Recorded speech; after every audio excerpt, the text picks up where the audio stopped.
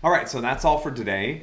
Um, I want to remind you that, as always, we have a lot going on in CS125 today and a lot of opportunities for you to get help. Um, we have staff, you know, on the help site all night from, from 6 to midnight, uh, also in the morning as well. Um, and then we have all of our sort of, you know, scheduled daily review sessions and, you know, concept reviews and my walkthrough at 11 and all sorts of other things. So, you know, there's a lot of chances to come connect with the course staff. And as a result, if you do show up, you're probably going to be in a pretty small group. And that's sort of by design. You know, we want you to be able to get individual help when you need it, even as we try to put together, you know, the best quality materials for you um, to, to access, you know, through the website and other ways. So, you know, what really, again, what really makes this course uh, special is the community of people that are behind it. Uh, you're not alone.